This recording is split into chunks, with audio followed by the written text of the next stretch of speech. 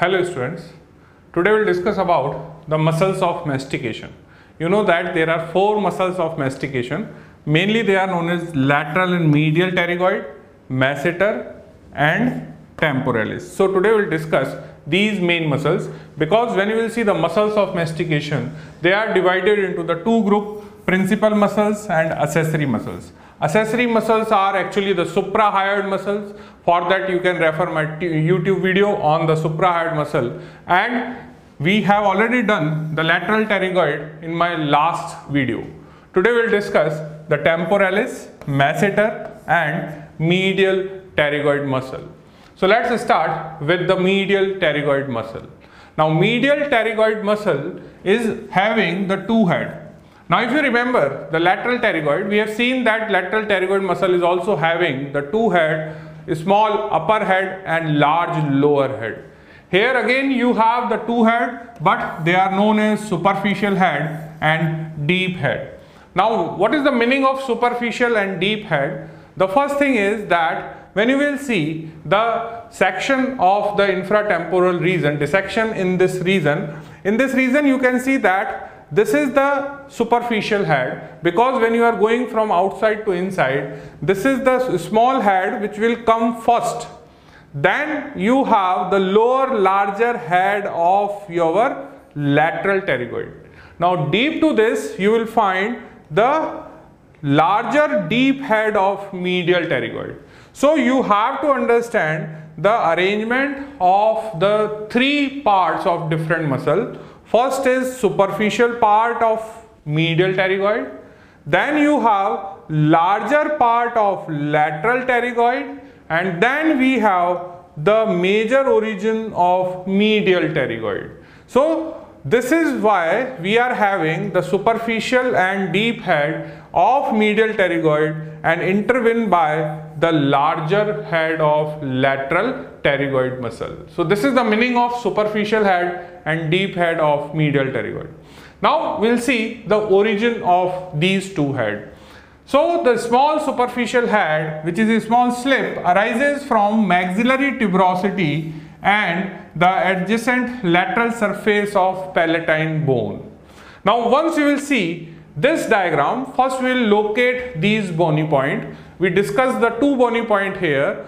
Now here you can see that this is the maxillary part. This is the superior alveolar process.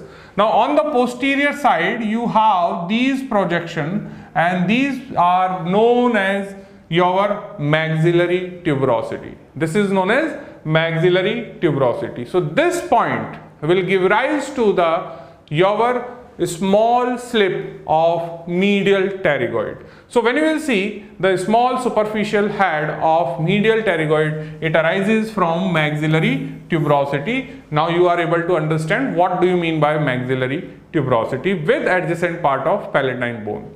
Now this superficial slip passing over the lower margin of lateral pterygoid which I just told you that why it is known as superficial. We are using the word superficial and deep part of medial pterygoid in reference to the lateral pterygoid. So the lateral pterygoid is a intervening muscle between the superficial and deep part of your medial pterygoid. So here in this diagram you can see that this is the origin from the maxillary tuberosity. This is the superficial slip because if you will cut the superficial slip, you will now able to see the whole deep uh, deplaced larger part of lateral pterygoid. And if I will cut this larger part of lateral pterygoid, below that you can see the origin of this muscle which is your deep part of medial pterygoid and the origin is not visible because the origin is hidden by the lateral pterygoid. That's why it is known as deep head. So in this diagram, I just told you what is the maxillary tuberosity. Apart from that, you can appreciate this is your lateral plate or you can say lateral pterygoid plate.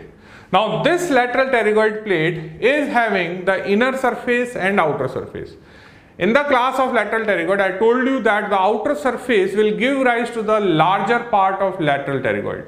Now today we are talking about the medial surface of lateral pterygoid plate. Now this medial surface of lateral pterygoid plate give rise to the origin of deep part of medial pterygoid muscle. So in this diagram again you can see that this is the lateral pterygoid plate. Now on this lateral pterygoid plate outer side you can see this is the origin of lateral pterygoid but on the inner side you are able to see this muscle is emerging out and this muscle is the deep head of medial pterygoid. So at the important point which you have to remember we are talking about these two heads superficial head and the deep head in response to this larger lateral head lower head of lateral pterygoid muscle. Now we'll talk about the origin point of the deep head which I just told you from the lateral pterygoid plate but it is from the medial surface and the lateral pterygoid from lateral surface. So this is the difference which you have to keep in mind apart from that with the adjacent part of palatine bone.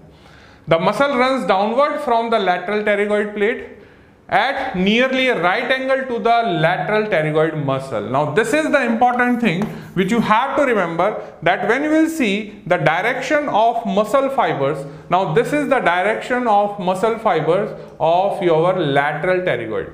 But when you will see the larger deep part of medial pterygoid, you will realize that there is almost right angle of these fibers. So the fibers are having the right angle to each other and this is the important pattern to understand the action of these two muscles. Clear?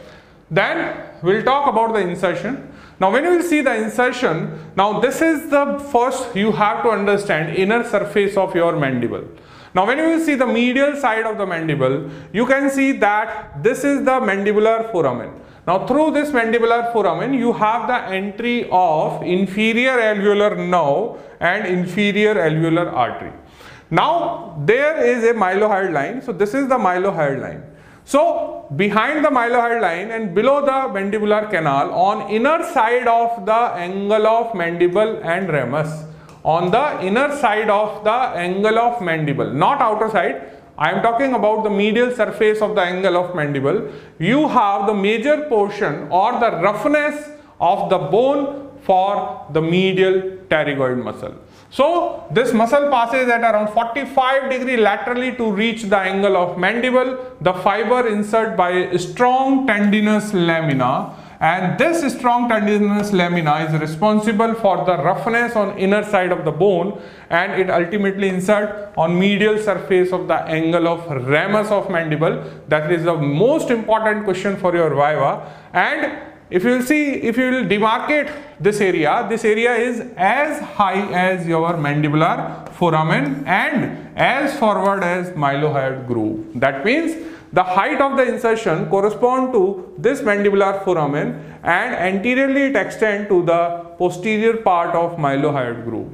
So this much area is assigned for the insertion of tendinous part of mylohyoid muscle, uh, this medial pterygoid muscle. Now what is the nerve supply? Now you know that all the muscles of mastication, all the four basically जो principal muscles, all these four principal muscles supplied by branches of mandibular nerve. And you know that mandibular nerve is the nerve first pharyngeal arch. So these all four muscles develop from the first arch. But the important thing is that medial pterygoid muscle is receiving the branch directly from the trunk of mandibular nerve because you learn that mandibular nerve is having anterior division, posterior division but this nerve to medial pterygoid is not a branch of division, it is a direct branch of the trunk of your mandibular nerve. So this is the again important question for your exam. So here in this diagram, you can see again the inner side of the mandible where this sky blue area is denoting the area for attachment of medial pterygoid. Clear? Now we'll move to the relations of medial pterygoid which is again an important question for your exam. Now when you will see the relation, you have to first understand the relation of lingual nerve. Now dear students, here you can appreciate the lingual nerve. In the class of lateral pterygoid, I told you that lingual nerve lies outside the uh, uh, your this is the lingual nerve which lies along the inferior border of your lateral pterygoid. It lies along the inferior border of lateral pterygoid. But in this diagram, you are not able to appreciate the origin of lingual nerve because lingual nerve is arising somewhere here from your mandibular nerve. It is arising from mandibular nerve. And I just told you that the deep part is deep to the lateral pterygoid muscle. The deep part of medial pterygoid is deep to the lateral pterygoid muscle and we know that foramen ovale is also deep to the lateral pterygoid muscle. So when this nerve will come out, it becomes sandwiched between the medial pterygoid and lateral pterygoid. Clear? So here the important relation is that lingual nerve is deep to the lateral pterygoid but superficial to the medial pterygoid and we are basically talking about their major or bulky part of the muscle rather than their smaller parts. So if you will see this diagram to understand the relation of lingual nerve students you can see that we have removed this muscle. Now this muscle is the lateral pterygoid. Now once you will remove the lateral pterygoid, after that you can see the lingual nerve is going downward and it becomes superficial to the medial pterygoid. If I will draw the muscle here, if you will draw the muscle here which is going towards the neck of mandible, this is your lateral pterygoid cone shaped muscle, then you will realize this lingual nerve is now not visible. You can see the lingual nerve only along its inferior border. So this is important to understand that lingual nerve lies superficial or on the outer side of the medial pterygoid but deep to the lateral pterygoid in its upper part or near the origin area. Now in this section, if I will take the section, horizontal section like this, in this section you can see this is your mandible. Now this is your mandible and I just told you that on the mandible inner side you have the medial pterygoid. Now when you have the origin of medial and lateral pterygoid, you have to first mark the lateral pterygoid plate. So this is the lateral pterygoid plate. Now we know that outside the lateral pterygoid plate, there is a muscle is known as lateral pterygoid muscle. So where is the lateral pterygoid muscle? This is your lateral pterygoid muscle. Now inside this lateral pterygoid plate you have medial pterygoid muscle so where is the medial pterygoid muscle this is your medial pterygoid muscle clear so when you will take the section of your head and neck you are able to first appreciate the pterygoid process lateral pterygoid process on the outer surface of the lateral pterygoid you have lateral pterygoid muscle. On the inner surface of lateral pterygoid you have medial pterygoid and I just told you that between these two muscle there is a upper part of lingual nerve. So this is your lingual nerve. You can see that this is your lingual nerve. Clear? So this important relation is always should be there in your mind when you are doing the layer by dissection. First you remove this ramus of mandible, then you come to across with your lateral pterygoid muscle. Once you will remove the lateral pterygoid, you will see the origin of lingual nerve and behind the lingual nerve you will find the deep head of medial pterygoid muscle. So this is the important relation along with the you have inferior alveolar nerve and your inferior alveolar artery because again these structures are deep to the lateral pterygoid but outside the medial pterygoid muscle. Now we'll discuss the deep relation. Now what you will find deep to the medial pterygoid. Now if you do the dissection deep to the medial pterygoid you will approach almost towards the pharynx now here you have the tube and this tube is continued downward as a esophagus and their tube is known as pharynx. Now this is your plate and on this medial surface of the plate you have the muscle is known as deep head of medial pterygoid. Now when you will have this pharynx, now this pharynx is made up of muscle is known as superior constrictor It is known as superior constrictor. And near the upper border of superior constrictor you have the opening for the levator veli palatini muscle. Plus you have the muscles. Those are related with this auditory tube. So you have to understand that when you are doing the layer wide dissection, when you are going from outside to deep side, outside you have removed the ramus of mandible, then you will remove the lateral pterygoid, then you remove the medial pterygoid. After removing the medial pterygoid, you are going to see the outer wall of the pharynx and along the pharynx you have the some smaller muscles like stylopharyngeus, styloglossus, you have the levator veli palatini, tensor veli palatini and superior constrictor which is important or the uppermost muscle of pharynx. Clear? So what you will find deep in one line if you want to remember deep to the medial pterygoid you find muscles of pharynx. Clear? Now the next part is the action of medial pterygoid. So the medial pterygoid causes elevation of the mandible and it helps in closing of the mouth. Then it is helpful in the protrusion of the mandible along with the lateral pterygoid. Now there are two more action along with the lateral pterygoid. The first action when there is a one side or unilateral medial and lateral pterygoid contract and there is another action when the two sides medial and lateral pterygoid contract. When there is a two side medial lateral muscle contract, you have side to side movement of mandible in chewing. But when there is a one side contraction of medial and lateral pterygoid, then the mandible swing and the chin will uh, goes to the opposite side. So this is the important question for your exam that if my right medial and right lateral pterygoid contract, my chin will go towards the left side. So it is swinging movement, it is rather than side to side movement. So this these are the four important movements of medial pterygoid muscle.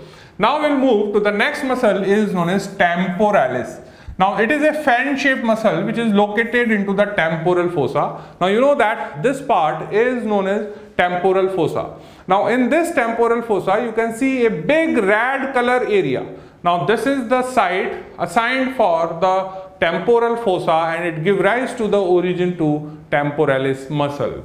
Now it is covered by tough temporal fascia which is attached above to the temporal line and below to the zygomatic arch.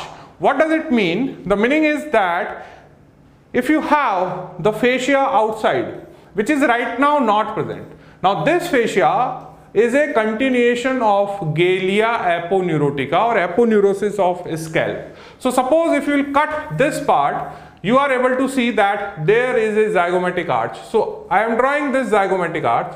Now deep to that you have this outer surface of temporal bone. Now there is a fascia which is coming from above and this fascia is known as temporal fascia. Now this temporal fascia is attached to the temporal line and below to the zygomatic arch. Now there is a blind space created between the outer side of the bone and deep to the fascia and that space is known as temporal fossa. So when you will have the dry skull bone in your hand, you don't have the temporal fossa because we have opened the outer fascia. Now right now in this diagram also you are able to appreciate this area which is known as temporal area but the fossa will form when I will put one layer that is attached to this line above that is your superior temporal line and to this margin of zygomatic arch. So once you will cover this part then you will have a blind space deep to the fascia and that is known as your temporal fossa. So the muscle will arises from the temporal fossa, the inner side of the temporal fascia. Now it arises from the whole surface of the floor of the temporal fossa. It arises from the deep surface of the temporal fascia. But it arises from the temporal fossa except the part formed by the zygomatic bone. Now this is the important thing that this muscle is not arising from the part formed by this zygomatic bone. Clear? Now, what is the insertion? Now here in this diagram, you can see that muscle fibers are converging. They are passing deep to the zygomatic arch. So you can see the cut section of the zygomatic arch and then it is inserting into the mandible. They are inserting into the mandible and this point is known as coronoid process. It is known as coronoid process. But the insertion is very important for your multiple choice questions because there are very specific arrangement of the fibers. So the fibers converge and descend from its tendon. They form a tendon which passes through a gap between the zygomatic arch and the side of skull and this muscle insert on the medial surface, apex, anterior border of coronoid process. There are three things which is again you have to remember medial side, apex and anterior border of coronoid process. Now see where you will find these areas.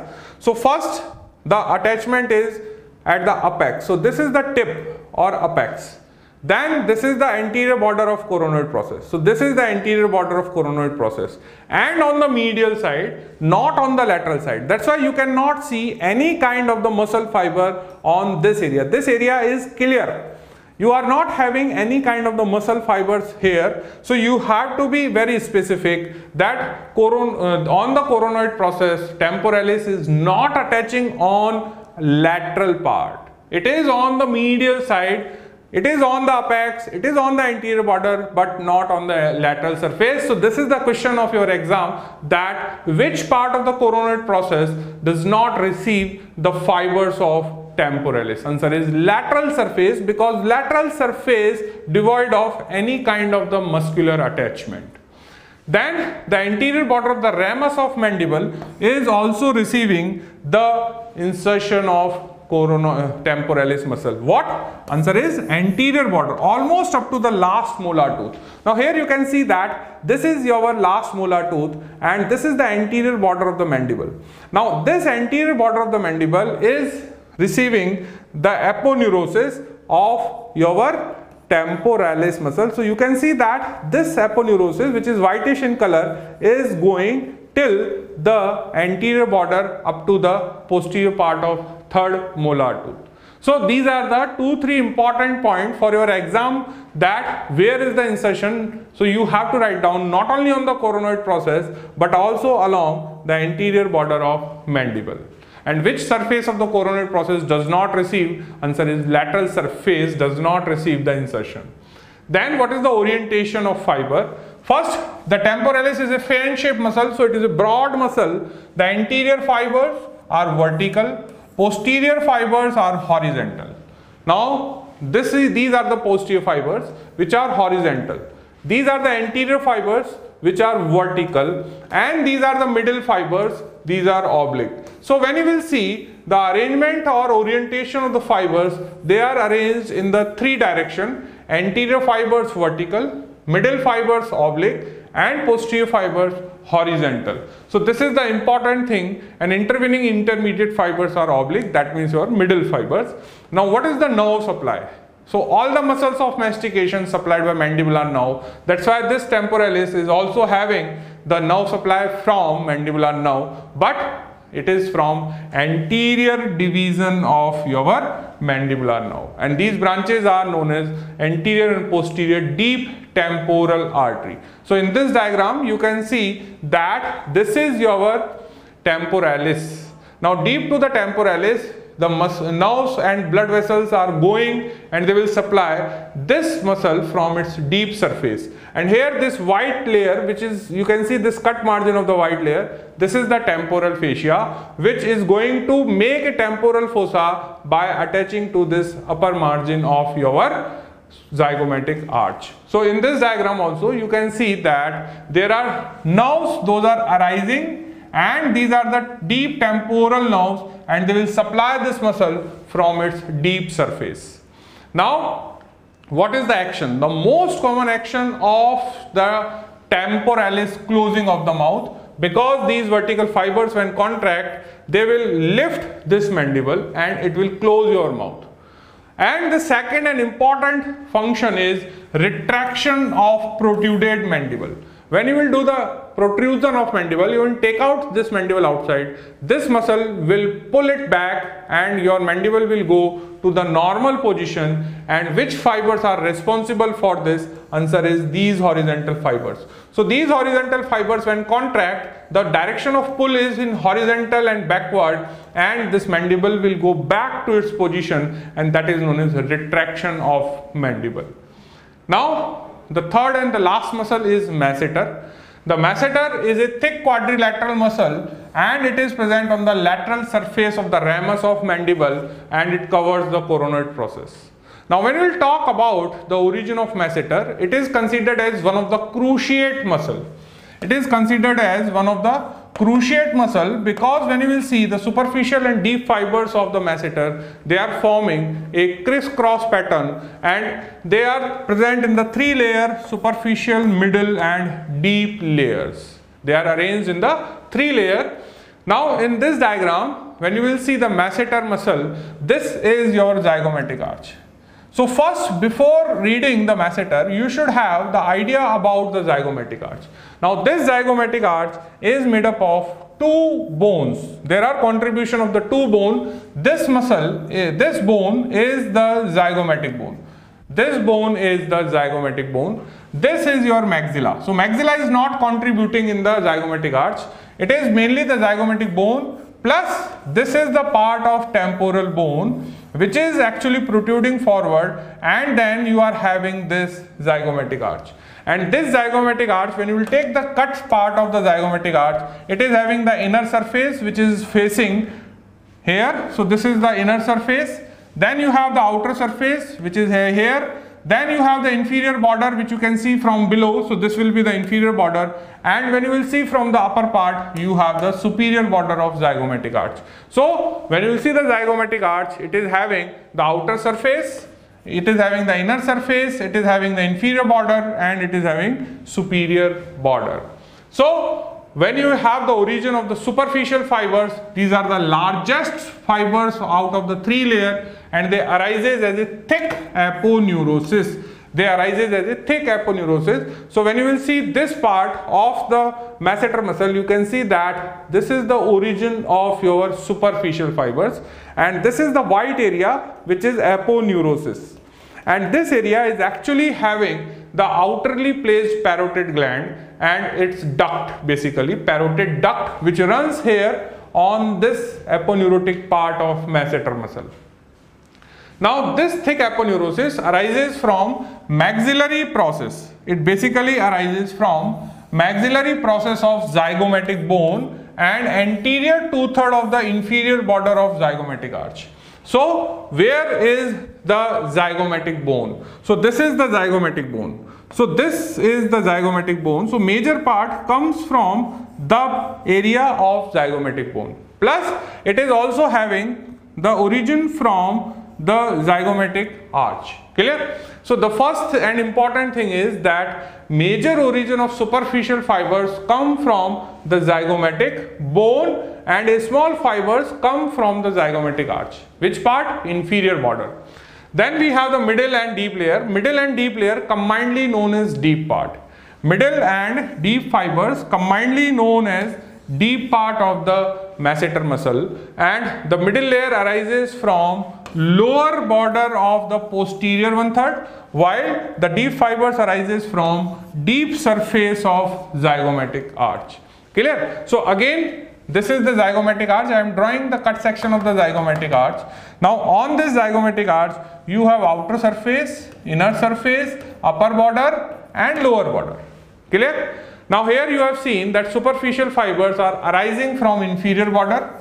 So they are arising from inferior border in few extent. Mid middle fibers are arising from again the lower border from the posterior part and you have the deep surface which is arising from the deep fibers arising from the deep surface of zygomatic arch. So this much part of the zygomatic arch, inferior border and inner surface is mainly giving origin to the superficial and deep part of masseter muscle. Now insertion. Now when you will see the insertion, insertion is on the outer side of the ramus and angle of mandible. So you have to remember that on the inner side of the ramus and angle of mandible you have medial pterygoid muscle while on the outer side of the ramus and mandible you have the insertion of masseter muscle and this superficial fibers passes backward and at the angle of 45 degree insert into the angle and lower posterior half of the lateral surface of the ramus of mandible. While the middle fibers passes vertically downward, again they will insert into the center part of the ramus and the deep fibers passes vertically downward and they will insert into the upper part of the ramus and adjacent part of the coronoid process. So in this diagram, you can see that this is what is the area of attachment of your masseter muscle. Now this masseter muscle is occupying the outer part of the angle of mandible and this outer surface of your uh, ramus of mandible. Plus the important thing which you can understand in this diagram that there is a gap between the coronoid process and condylar process. This is known as masseteric notch and through this masseteric notch the nerves and vessels are approaching the masseter muscle. So here you can see this nerve, this nerve is known as masseteric nerve which is again a branch of your uh, mandibular nerve plus you have this masseteric artery which is a branch of maxillary artery. But the question comes is that what are the structure lies in this mandibular notch. So what structure lies in this mandibular notch? Answer is masseteric nerve and masseteric artery. So in this diagram when you will see the masseter muscle so this is what you have to understand that this is the mandible and outer surface of the mandible you have masseter. And the another and most important thing which you have to remember that this is the temporalis. And I just told you that temporalis is not having the insertion on outer surface. Temporalis insert on the inner surface temporalis insert on the anterior border. That's why you can see that on the lateral surface of mandible, you are not having the temporalis. So temporalis is here and this temporalis muscle is not having any component on this lateral part of mandible. So mandible is having only the anterior border for the temporalis. On inner side you have the uh, along the anterior border again the temporalis. But on the outer side of the angle and ramus you have masseter and on the inner side of the angle you have medial pterygoid muscle. And so what are the uh, important other thing about the masseter that it is having the intramuscular tendinous septas and these septas produces ridges on the outer surface of your mandible. So when you will have the mandible in your hand, you will find roughness on the angle on outer side that is produced by the superficial fibers which are having intramuscular septum and that is the masseter. Now supply again it is a muscle of mastication so it is supplied by the mandibular nerve but again from the anterior division and action it is a powerful closer of the mouth and it causes ultimately elevation of the mouth. Clear? So when you will see the nerve supply of lateral pterygoid, medial pterygoid, masseter and temporalis, what you have to understand that they all are supplied by mandibular nerve. But the important thing is that medial pterygoid is supplied by trunk while these all three supplied by anterior division of mandibular nerve. So at the end of this class, we are able to now understand what are the four important muscles of the mastication? Origin, insertion, nerve supply and action. And what is the meaning of superficial and deep head of your medial pterygoid muscle? What is the pattern of insertion of the your temporalis muscle and layer wise origin of masseter muscle? So this is all for today's class. Thank you.